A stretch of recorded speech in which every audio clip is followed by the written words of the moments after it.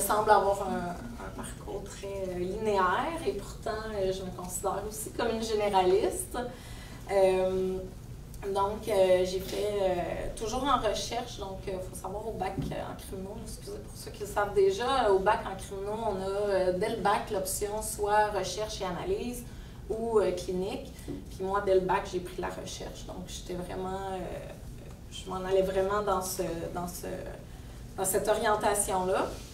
Donc, au bac, j'ai fait un stage de recherche sur les prédicteurs de récidive des adolescents agresseurs sexuels. À la maîtrise, je suis allée euh, aussi sur les adolescents, donc les habiletés sociales et la violence. Puis au doctorat, j'ai pris plus un peu une tangente sociologique sur euh, les, euh, la théorie de la dissuasion, c'est plus récent, je m'en souviens moins. Mais je sais, c'est du déni en fait. je ne pas à cette période de ma vie. Donc, troublée. Euh, donc, euh, c'est ça, euh, beaucoup plus, un peu plus sociologique, donc théorie de la dissuasion et toutes les habiletés délinquantes, en fait, pour éviter de se faire attraper par la police. Vraiment les stratégies, en fait, délinquantes, le crime-wise, comme on va l'appeler en criminaux. Donc, euh, c'est ça, fait que malgré que mon cheminement était uniquement criminel, j'avais déjà, euh, dès mes études, là, des, des, champs d'intérêt qui étaient assez diversifiés. Et euh, en parallèle, j'ai aussi commencé à donner des charges de cours qui m'amenaient à parler de plein de, plein de sujets différents. J'ai fait des charges de cours en métaux surtout. Puis après ça, je me suis orientée, j'ai fait plus les charges de cours que je fais encore maintenant aujourd'hui pour euh, justement la supervision des étudiants en stage euh, en analyse au baccalauréat. Je salue Laurence d'ailleurs. Donc, euh, c'est ça, donc depuis toutes ces années, ce qui fait que cette polyvalence-là ou cet aspect-là d'être très, généraliste aide beaucoup parce que les étudiants sont en stage en recherche, ils ont tous des sujets différents. D'une année à l'autre, évidemment, ça revient un peu. Il y a des, sujets connexes qui reviennent d'une année à l'autre, mais euh, c'est toujours, on a toujours euh, un, besoin de s'adapter à chaque nouveau projet, chaque nouveau sujet, chaque nouvelle méthode aussi.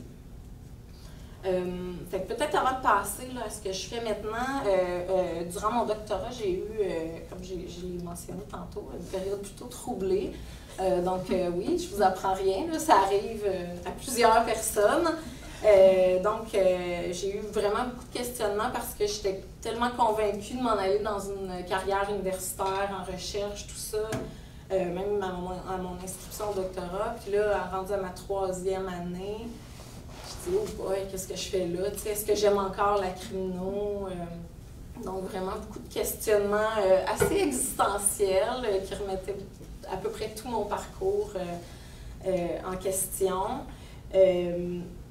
J'ai pas été dans d'autres départements, donc je sais pas trop comment ça se passe. Mais en criminologie, peut-être ça a changé depuis sept ans, mais bon, il y a sept ans ou dix ans, on avait vraiment une perspective euh, doctorat égal, euh, devenir prof d'université. C'était très valorisé, puis euh, on s'alignait vraiment vers ça. C'était à peu près la seule chose qu'on nous, qu'on nous présentait, en fait.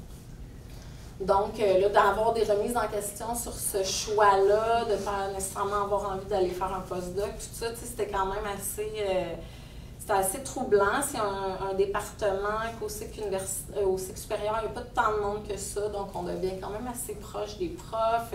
La vie étudiante au, au cycle supérieur est assez présente aussi. Puis vient un moment au doctorat où ben, tu n'as plus de cours parce que tu as fini ta scolarité puis là, ben, tu te retrouves un peu avec toi-même, tu n'es plus la superstar. Euh, donc, euh, pour moi, ça a été un peu euh, difficile de voir que finalement, il y avait d'autres étudiants qui me remplaçaient. C'était plus moi, j'avais plus d'un catastrophe. Puis, bon. Puis, il fallait que je rédige puis que je fasse cette thèse. Hein, à un moment donné, il faut faire ça là, au doctorat. Donc, c'est ça. Donc, beaucoup de remises en question. Euh, ça m'a amené même à aller voir un, orienteur. Donc, euh, puis, euh, suite à cette démarche-là, j'ai décidé de prendre une session sabbatique. En fait, une session off, ce qui n'était pas particulièrement bien lu non plus. au département, mais bon, j'ai tenu mon bout. puis, je vous le dis pour que vous sachiez que c'est des possibilités, puis que même si c'est pas encouragé, des fois, c'est important de suivre ses instincts, en fait. Là. Et là, c'est filmé, donc euh, bonjour, euh, Jean Bruno qui regarde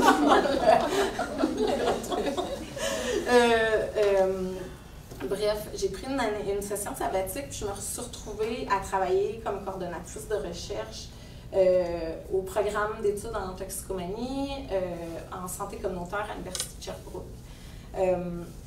Donc, je continuais dans la recherche, mais plus en criminaux. Donc, j'avais un peu besoin aussi de faire ma, propre identité en dehors de la criminologie. C'est ce que j'ai remarqué. J'avais besoin d'aller voir un autre domaine. J'avais travaillé un peu en toxico, euh, plus en relation d'aide euh, après ma technique en intervention de délinquance. Donc, euh, c'était quand même un domaine qui m'intéressait, puis tout ça. Fait que ça, ça avait comme bien à donner cette opportunité-là.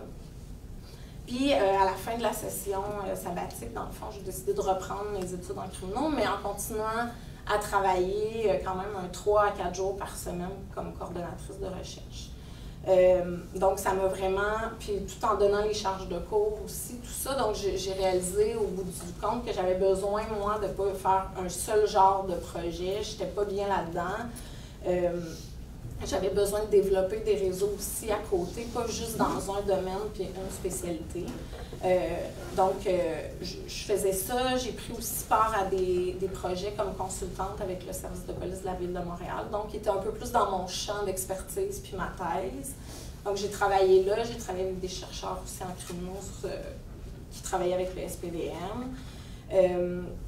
J'ai été aussi consultante, euh, aussi en toxico, avec, avec euh, certains, euh, certains chercheurs, puis tout ça. Donc, de fil en aiguille, là, je me suis comme. j'ai élargi un peu plus mes horizons, je dirais, que uniquement la criminaux, puis uniquement mon champ d'expertise. Ce qui fait qu'à la fin de mon doctorat, ben, dans le fond, je, trouvais que j'avais un meilleur bagage que si j'avais juste fait ça. Quand, comme coordonnatrice de recherche, euh, j'avais participé à plein de demandes de subventions, j'avais écrit des, articles, fait que même si je n'étais pas nécessairement premier auteur, j'étais deuxième, troisième, etc.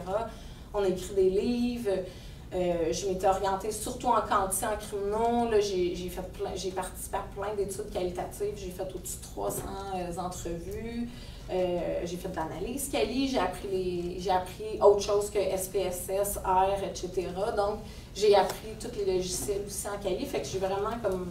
Je me suis vraiment. Euh, je me suis ouvert plein de portes, en fait. Euh, j'ai travaillé beaucoup. Dans tous ces emplois-là, c'était beaucoup en évaluation de programme aussi que je travaillais. Et quelques mois après la fin de ma thèse, euh, j'ai vu un poste ouvert à l'INES. Donc, je trouvais que ça correspondait bien à ce que je faisais.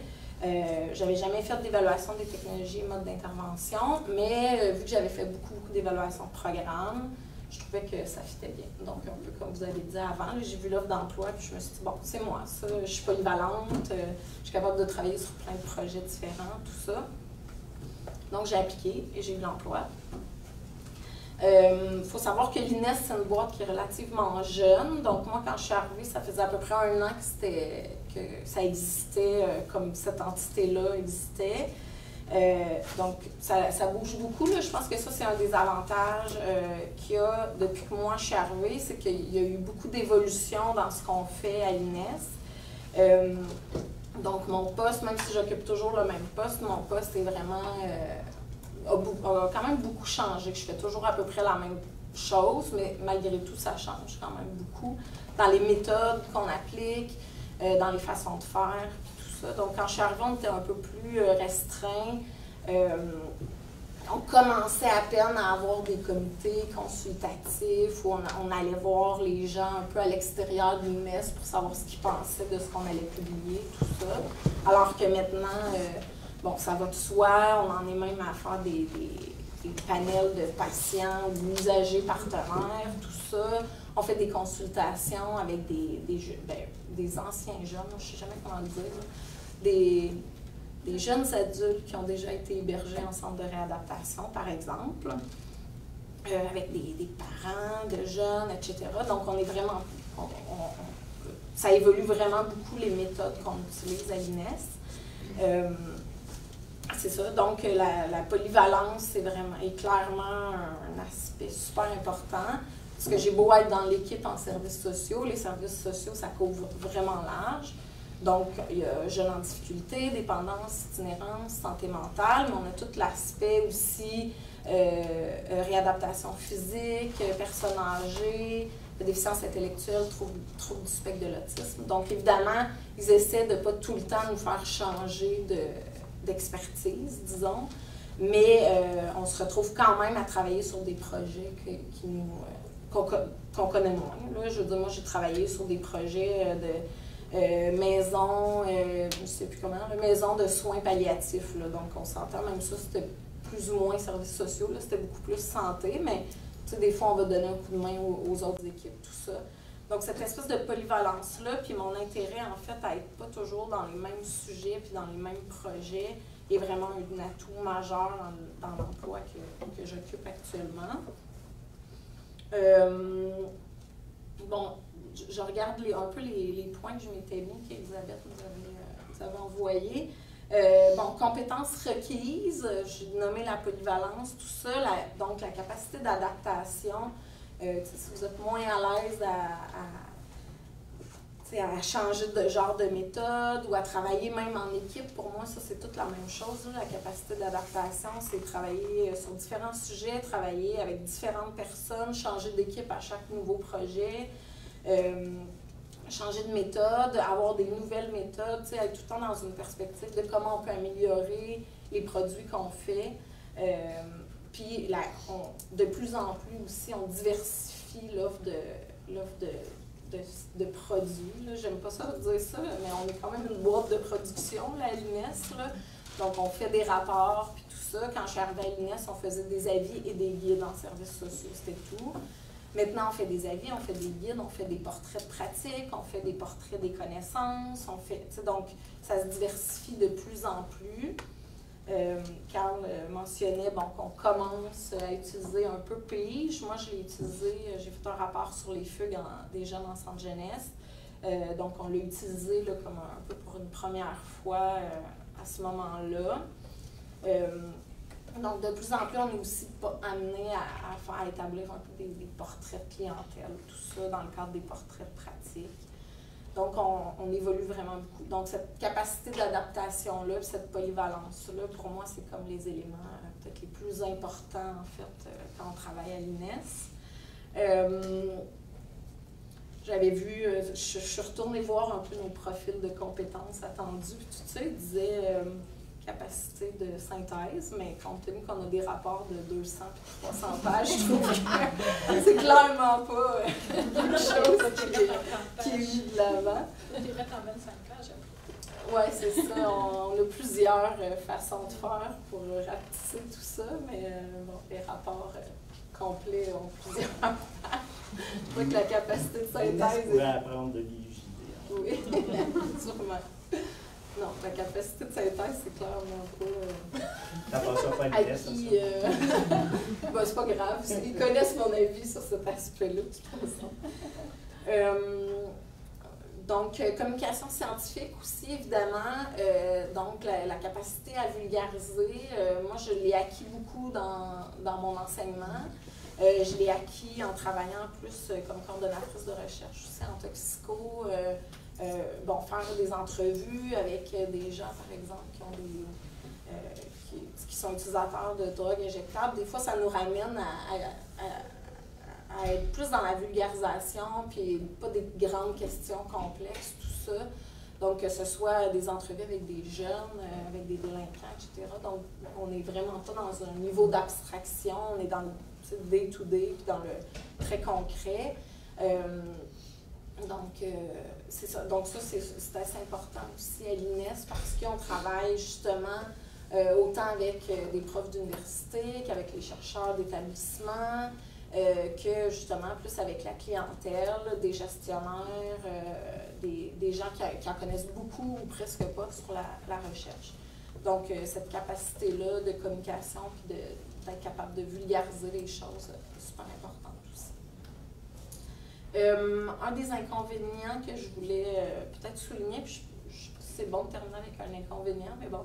Euh, quand, on, fait nos études à la maîtrise, au doctorat, un des, je pense qu'une des, des compétences beaucoup qu'on va aller chercher, c'est notre autonomie, tout ça. À l'UNES, ça prend beaucoup d'autonomie, mais on se retrouve quand même à être un peu coincé dans une hiérarchie, puis dans une organisation où j'ai un gestionnaire qui regarde ce que je fais, qui regarde ce que j'écris, euh, des fois, j'en ai même deux. J'ai le cordeau qui fait la même chose, etc. Donc, c'est beaucoup de retours.